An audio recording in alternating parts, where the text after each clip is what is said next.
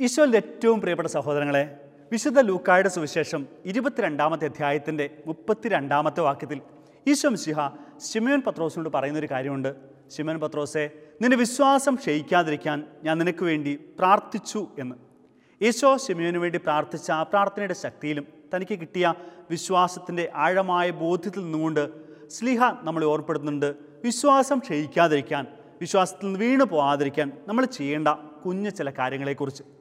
വിശുദ്ധ പത്രോസ്ലിഹ എഴുതിയ രണ്ടാമത്തെ ലേഖനം ഒന്നാം അധ്യായം പത്താമത്തെ വാക്യത്തിൽ സ്ലിഹ നമ്മൾ ഓർപ്പെടുന്നുണ്ട് ആകെ സഹോദരങ്ങളെ നിങ്ങളുടെ വിളിയും തിരഞ്ഞെടുപ്പും ഉറപ്പിക്കുന്നതിൽ നിങ്ങൾ കൂടുതൽ ഉത്സാഹമുള്ളവരായിരിക്കുമെന്ന്. ഇങ്ങനെ ചെയ്താൽ നിങ്ങൾ ഒരിക്കലും വീണു പോവില്ല എന്ന്. കേൾക്കുമ്പോൾ വളരെ സിമ്പിളായിട്ട് തോന്നും പക്ഷേ അത്ര സിമ്പിളല്ല ഈ കാര്യം. രണ്ട് കാര്യങ്ങൾ ശ്രദ്ധിക്കണമെന്നാണ് പത്രോസില നമ്മൾ ഓർപ്പെടുന്നത്. നിങ്ങളുടെ വിളിയും തെരഞ്ഞെടുപ്പും ഉറപ്പിക്കുന്നതിൽ കൂടുതൽ ഉത്സാഹമുള്ളവരായിരിക്കും എന്നാണ് പറയുന്നത്. രണ്ട് കാര്യങ്ങൾ. വിളി തിരഞ്ഞെടുപ്പ്. എന്താണ് നമ്മുടെ വിളി? എന്താണ് ക്രൈസ്തവന്റെ വിളി?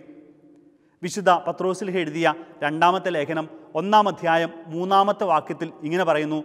തന്റെ ഔന്നത്യത്തിലേക്കും മഹത്വത്തിലേക്കുമാണ് കർത്താവ് നമ്മളെ വിളിച്ചിരിക്കുന്നത്. തന്റെ ഔന്നത്യത്തിലേക്കും മഹത്വത്തിലേക്കും സിമ്പിളായിട്ട് പറഞ്ഞാൽ ദൈവമക്കളാവാനാണ് നമ്മുടെ വിളി.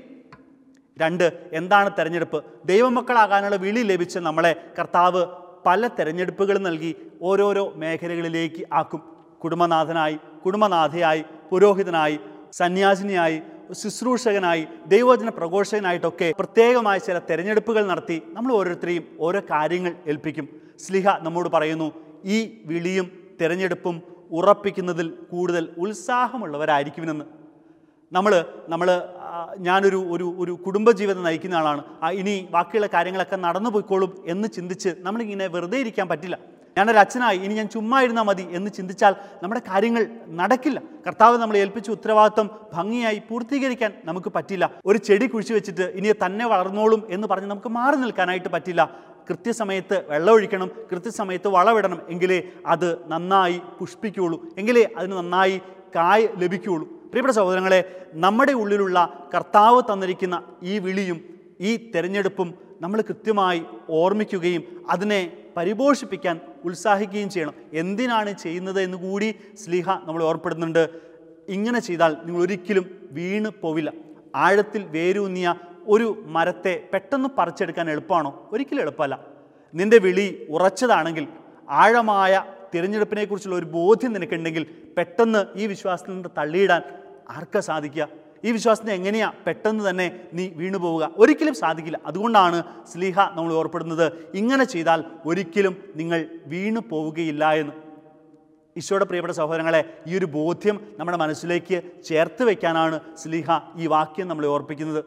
ഒരു കുഞ്ഞു വചനം കൂടി സ്ലീഹ നമ്മളോട് പറയുന്നുണ്ട്. ഇതാണ് നിങ്ങളുടെ വിശ്വാസത്തിൽ ആഴപ്പെടാനായിട്ട് നിങ്ങൾ ചെയ്യേണ്ട ഒരു കുഞ്ഞു കാര്യം കൂടി ഉണ്ട് കേട്ടോ. വിശുദ്ധ പത്രോസ്ലിഹ എഴുതിയ രണ്ടാമത്തെ ലേഖനം ഒന്നാം അധ്യായം അഞ്ചു മുതലുള്ള വാക്യങ്ങൾ. ഇതിങ്ങനെയാണ് നിങ്ങളുടെ വിശ്വാസത്തെ സുഹൃതം കൊണ്ടും സുഹൃതത്തെ ജ്ഞാനം കൊണ്ടും ജ്ഞാനത്തെ ആത്മസംയമനം കൊണ്ടും ആത്മസംയമനത്തെ ക്ഷമ കൊണ്ടും ക്ഷമയെ സഹോദര സ്നേഹം കൊണ്ടും സഹോദര സ്നേഹത്തെ ഉപവി കൊണ്ടും നിങ്ങൾ സമ്പൂർണമാക്കാൻ ഉത്സാഹിക്കുവിനെന്ന് ഈ വിശ്വാസം എന്നത് ഉള്ളിലുണ്ടാവേണ്ട ഒരു വികാരം മാത്രമല്ല കേട്ടോ. അത് സുഹൃത ജീവിതം കൊണ്ട് പ്രകടിപ്പിക്കേണ്ടത് കൂടിയാണ്. സഹോദര സ്നേഹം എന്നൊക്കെ പറയുമ്പോൾ വെറുതെ അത് അത് അത് ചുമ്മാ ഒരു വാക്ക് മാത്രമല്ല നിന്റെ വിശ്വാസത്തിന്റെ ബാഹ്യമായൊരു പ്രകടനം കൂടിയാണ് ഈ സഹോദര സ്നേഹം എന്നൊക്കെയുള്ളത്. അല്പം കൂടി മനസ്സിലാകാനായിട്ട് വിശുദ്ധ യോഹനാൻ സ്ലിഹ എഴുതിയ ഒന്നാമത്തെ ലേഖനം നാലാം അധ്യായം ഇരുപതാമത്തെ വാക്യം കൂടി ഒന്ന് ചേർത്ത് വെച്ച് വായിച്ചാൽ മതി. കാണപ്പെടുന്ന സഹോദരനെ സ്നേഹിക്കാത്തവന് കാണപ്പെടാത്ത ദൈവത്തെ എങ്ങനെയാണ് സ്നേഹിക്കാനായിട്ട് സാധിക്കുക? അപ്പോൾ വിശ്വാസം എന്നത് ഉള്ളിലുണ്ടാവേണ്ട ഒരു വികാരം മാത്രമല്ല മറിച്ച് ഈ സഹോദര സ്നേഹത്തിലൂടെയും ഉപയോഗ പ്രവർത്തനങ്ങളിലൂടെയും ഒക്കെ നമ്മളിങ്ങനെ പ്രകടമാക്കണം. ഇതിനോടൊക്കെ ചേർത്ത് വെച്ച് നമ്മൾ നമ്മുടെ ജീവിതത്തെ മുമ്പോട്ട് കൊണ്ടുപോകണമെന്ന സ്ലിഹ നമ്മളെ ഓർപ്പെടുന്നത്. അങ്ങനെയെങ്കിൽ നമ്മൾ ഒരിക്കലും വീണു പോവില്ല. പ്രിയപ്പെട്ട സഹോദരങ്ങളെ ഈ കാര്യം മനസ്സിലേക്കൊന്ന് ചേർത്ത് വെക്കണം. വിശ്വാസത്തിൽ ഇങ്ങനെ ആഴപ്പെട്ട് മുമ്പോട്ട് പോവുക. കർത്താവ് തന്നിരിക്കുന്ന വിളിയെക്കുറിച്ചുള്ള നല്ല ബോധ്യം ഉണ്ടാവുക. ദൈവം തിരഞ്ഞെടുത്ത് ഏൽപ്പിച്ചിരിക്കുന്ന ശുശ്രൂഷയെക്കുറിച്ച് ഏൽപ്പിച്ചിരിക്കുന്ന ദൗത്യങ്ങളെക്കുറിച്ച് നല്ല ബോധ്യം ഉണ്ടാവുക. അങ്ങനെയെങ്കിൽ വീണു പോവില്ല. എങ്ങനെയാണ് വീണു പോകാനായിട്ട് പറ്റുക? കാരണം ഉത്തരവാദിത്വം നമ്മുടെ മേൽ വെച്ച് തന്നിട്ട് കർത്താവ് പറയാണ് ഞാൻ കൂടെയുണ്ട് എന്ന്. കൂടെയുണ്ട് എന്ന് പറയുന്ന കർത്താവിന്റെ കരം പിടിച്ച് മുമ്പോട്ട് പോവുക മാത്രമല്ലേ നമ്മൾ ചെയ്യേണ്ടതുള്ളൂ. നിങ്ങൾ വീണു പോവില്ല. കാരണം കർത്താവ് കൂടെയുണ്ട്. ഈശോ നമ്മളെല്ലാവരെയും സമൃദ്ധമായിട്ട് അനുഗ്രഹിക്കട്ടെ. ഇപ്പോഴും എപ്പോഴും എന്നേക്കും Amen.